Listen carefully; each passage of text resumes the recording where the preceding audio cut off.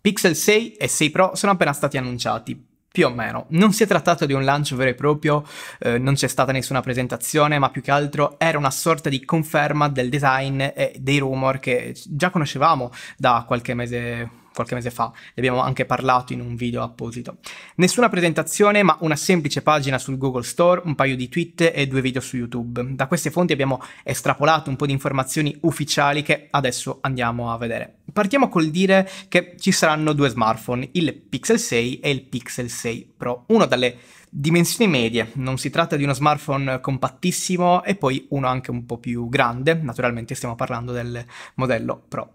Il design, come vedete, è esattamente quello ehm, di cui avevamo già parlato e avevamo potuto analizzare qualche mese fa con il leak di John Prosser, che questa volta non ha sbagliato praticamente nulla. Quindi il retro è diviso da due parti colorate con in mezzo una barra della fotocamera, un'estetica che sicuramente divide ma è un qualcosa di almeno diverso e anche un po' originale. Chi ha tenuto questo smartphone in mano ci dice poi che questi siano molto più belli visti dal, dal vivo, tenuti proprio in mano, rispetto ai render. E tendenzialmente ci crederei anche perché i render solitamente non riescono a esprimere al massimo le caratteristiche di uno smartphone o di qualsiasi altro gadget tecnologico. La fotocamera ricorda un po' alla lontana l'estetica del vecchio Nexus 6P, l'ultimo Nexus che in molti ancora ricordano e rimpiangono come uno dei migliori smartphone prodotti da Google insieme al Nexus 5. Sicuramente questo modulo della fotocamera sarà però comodo per evitare che lo smartphone si muova troppo quando viene posato sul tavolo. Ci sono poi anche delle differenze tra le fotocamere del Pixel 6 e del 6 Pro che condividono la stessa fotocamera principale e anche la grandangolare, ma sul 6 Pro, dove abbiamo più spazio, è stata inserita anche una fotocamera a tele con zoom ottico 4x. Frontalmente invece hanno entrambi una sola fotocamera all'interno di un piccolo forellino centrale posto sul display. Quest'anno però la vera novità saranno i sensori che finalmente sono stati aggiornati, ormai dal Pixel 2 che nei telefoni Google si è sempre usato lo stesso sensore che per quanto fosse buono ormai sentiva un po' il peso degli anni. Quindi finalmente sul Pixel 6 ci saranno nuovi sensori che sicuramente andranno a migliorare ulteriormente la qualità degli scatti ma anche dei video. Il Pixel 6 e il 6 Pro sono però due smartphone molto importanti per Google, non solo per questo nuovo design o per queste fotocamere aggiornate, ma perché si torna a parlare di smartphone top di gamma. Il Pixel 5 era un telefono dei compromessi, ma il 6 e il 6 Pro sono dei veri top di gamma con chip non Snapdragon, ma con un nuovissimo SOC realizzato in casa da Google chiamato appunto Google Tensor.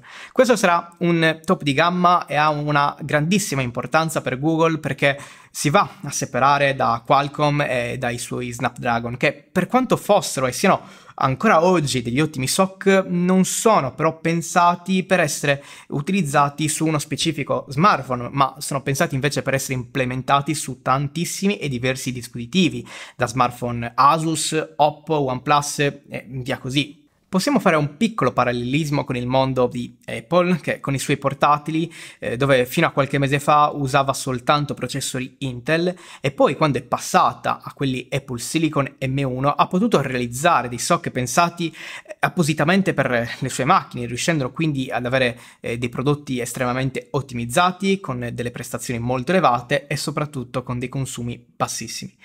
Molto probabilmente vedremo più o meno la stessa cosa anche in questo nuovo Pixel 6 con il Google Tensor. Quando però andremo ad analizzare questi nuovi prodotti, dobbiamo dimenticarci di tutto il discorso delle prestazioni che sullo smartphone stanno diventando un qualcosa di eh, praticamente quasi irrilevante. I telefoni hanno ormai raggiunto una potenza tale, talmente elevata, che di anno in anno praticamente non si riescono quasi più a percepire i diversi miglioramenti concreti nell'utilizzo di tutti i giorni o anche nelle velocità di apertura delle applicazioni nell'utilizzo quotidiano.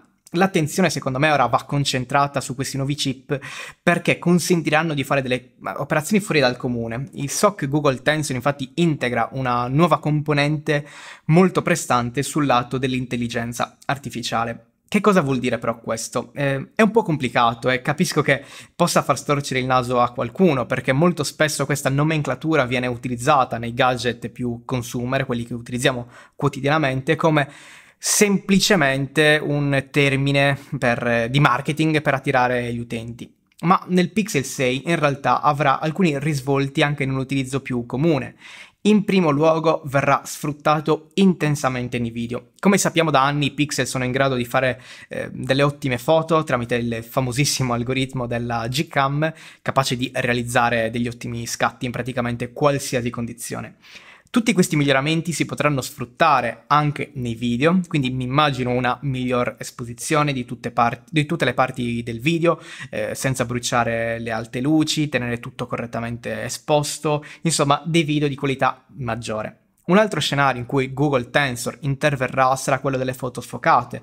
E a proposito di questo ci dà qualche indizio The Verge. La più significativa è stata quella che mostrava un bambino intento a correre, ma che muovendosi così rapidamente non ha consentito allo smartphone di catturare ben a fuoco tutto il suo viso. In questo scenario però è intervenuta la fotocamera grandangolare che lavorando sempre in background, anche quando scattiamo banalmente con la fotocamera il sensore principale, ha il compito però questa grandangolare di catturare appunto tutti i dettagli della foto e intervenire per migliorare la nitidezza e i dettagli di tutte quelle parti sfocate proprio come in questo caso nel volto del bambino. Ancora si potrà utilizzare il Google Tensor con tutta questa potenza a disposizione per trascrivere ancora più rapidamente l'audio recepito dal microfono dello smartphone o presente in un video, ma farlo senza connessione a internet e soprattutto con la possibilità di tradurre in altre lingue. Insomma, degli utilizzi che mm, saranno molto comodi nella vita reale e che sono stati permessi proprio da questo Google Tensor. Sul Pixel 6 e sul Pixel 6 Pro sappiamo poche altre cose. Sul display che sarà un 6.4 pollici sul base e un 6.7 pollici sul 6 Pro. Immagino siano dei pannelli OLED, ma abbiamo delle conferme sulla frequenza di aggiornamento che è di 90 Hz sul base e di 120 sul 6 Pro.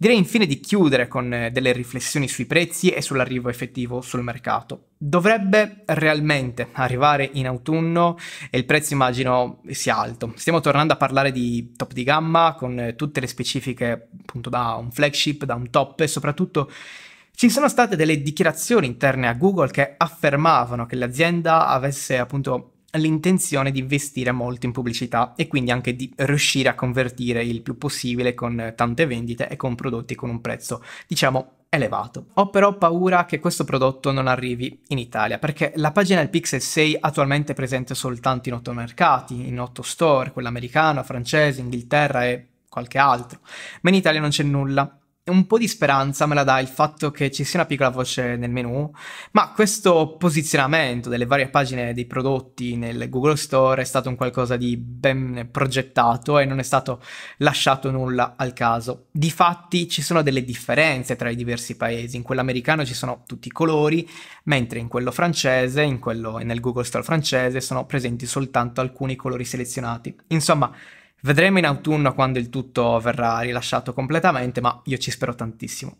Un ultimo piccolo fatto interessante è che il SOC Google Tensor dovrebbe essere prodotto da Samsung. Ci sono dei rumor, ma fa parte di una nuova strategia che l'azienda coreana, che Samsung sta portando avanti ed è anche un segno di una ancora più stretta collaborazione appunto tra Samsung e tra Google che in questi ultimi anni si stanno avvicinando davvero tantissimo. Comunque, questo era tutto. Fateci sapere qua sotto nei commenti cosa ne pensate dei nuovi Pixel 6 e ci vediamo a un prossimo video. Ciao a tutti!